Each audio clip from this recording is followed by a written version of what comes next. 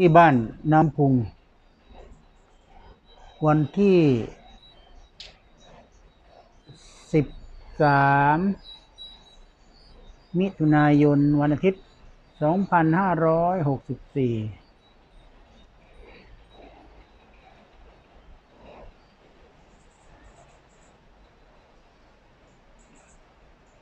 วันนี้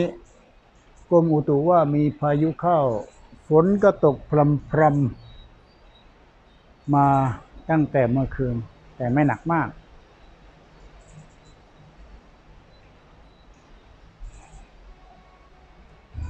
ธรรมชาติ บริเวณบ้านชูชาติอนงครับ